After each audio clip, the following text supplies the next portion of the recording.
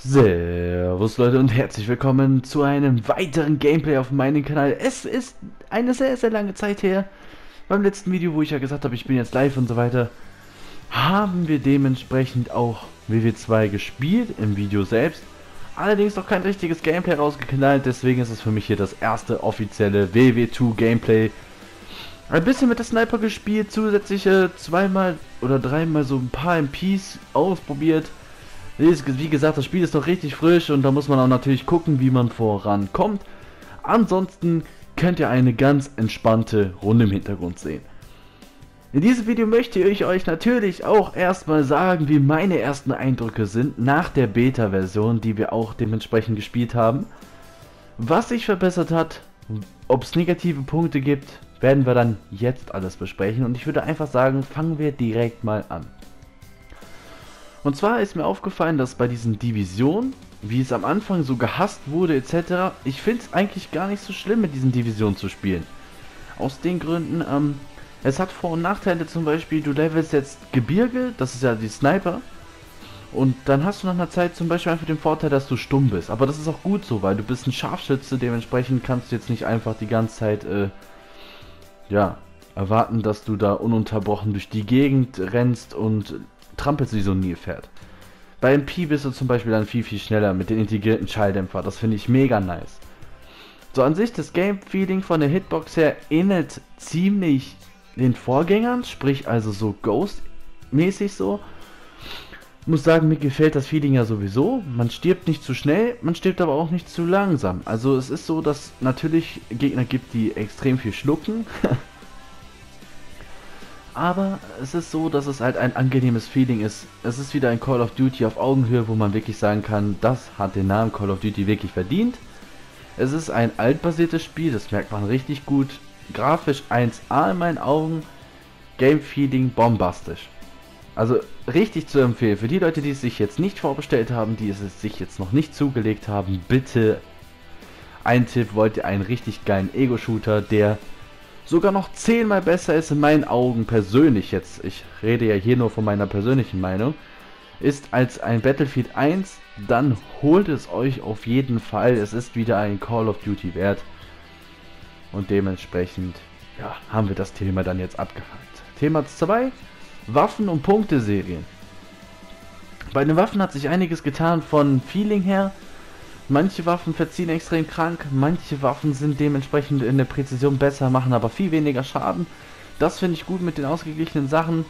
Zum Beispiel bei den Scharfschützengewehren muss ich sagen, spiele ich das zweite Scharfschützengewehr, also dementsprechend das, was ich jetzt auch gerade in der Hand halte, einfach viel, viel, viel lieber als das erste, weil das erste einfach viel zu viele Hitmarker verteilt, ist aber dafür ein Ticken schneller im Scope.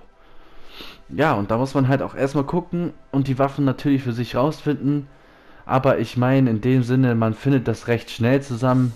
Man findet sich auch recht schnell in das Spiel ein.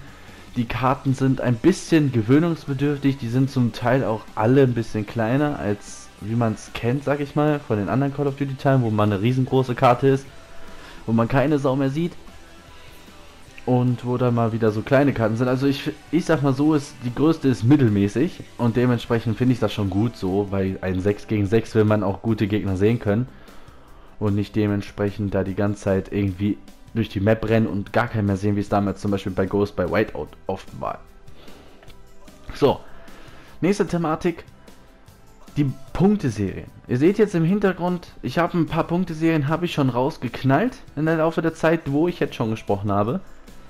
Es ist natürlich wieder so, dass man Punkte sammeln muss, um die Punkteserien rauszuknallen. Es gibt sowas ähnliches wie Hardliner, das ist halt so, so, ein, so ein Extra, das sind diese Bänder, die man dann später ausrüsten kann. Dazu mache ich dann nochmal parallel ein Video, wo man sich dann halt dementsprechend, ja, so Bonis reintun kann, mit schneller nachladen.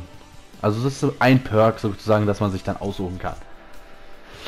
Und äh, das finde ich auch ziemlich gut so. Und an sich, Aussetzer gibt es auch mehr als in der Beta, meine ich.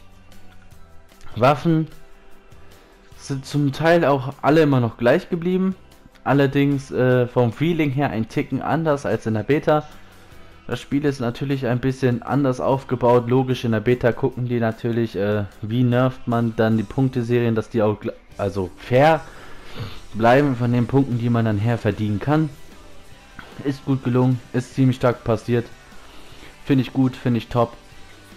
Und insgesamt gesagt finde ich, dass das Gameplay einfach ja, intensiver wirkt. Also es macht wieder richtig Spaß in der Lobby zu sein, gegen Leute zu spielen und sich zu messen. Zusätzlich natürlich das äh, Hauptmenüsystem mega gut gelungen. Ich finde dieses neue, was die da reingebracht haben, mit dem Hauptquartier mega nice. Dazu werde ich auch allerdings noch ein extra Video machen, wo ich dann darauf nochmal genau eingehen werde. Wo wir uns das noch, noch einschauen und gucken, wo was ist, wie was ist und wie das optisch ausschaut. Und ansonsten gibt es eigentlich nicht viel dazu zu sagen. Es war ein mega, mega, mega krankes Feeling, das erste Match in WW2 machen zu können. Es ist richtig geiles Spiel. Es lohnt sich auf jeden Fall für die Leute, die es sich nicht zugelegt haben und eigentlich Call of Duty Fans sind. Holt es euch, legt es euch auf jeden Fall sofort zu. An der Stelle bin ich raus, lasst das restliche Gameplay dann einfach noch ein bisschen so laufen mit Ton und nicht mehr dieser Musik im Hintergrund. Und ich würde dann sagen, wir hören uns dann beim nächsten Gameplay bzw. Video. Und ich würde sagen, wiederschauen und bis zum nächsten Video reingehauen. Ist nicht mehr so einfach wie früher, einfach mal quickscopen und dann hat sich die Sache. Granate kommt, Granate kommt.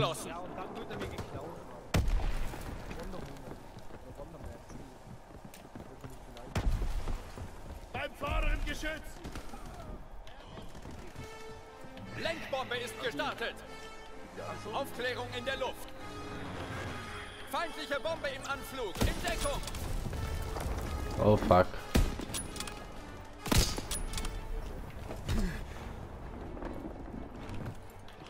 Feindliche Vorräte entdeckt. Unterbindet den Nachschub. bestätigt. Feuer auf das Ziel.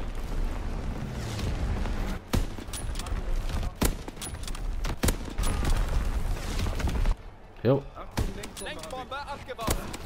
Ah, hält mal. Oh, ja, hab ihn. Oh, geil. Gut gemacht, Soldaten. Geht nach hinten, spielt euch etwas aus. Boah, schön auf dem Schädel, Alter. Das war ich. Boah, Alex, schönes Ding. Ja. Schönes Ding. Alex, war das denn da wenig? War so eine Challenge bei uns? Ja, Mann, Headshot Challenge. 28,6 mit Sniper, Digga, das läuft.